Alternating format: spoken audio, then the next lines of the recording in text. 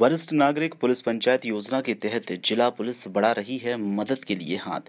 वृद्ध लोगों के लिए सहारा बन रही है पुलिस। जिला पुलिस राजगढ़ के द्वारा यह कवायद की जा रही है।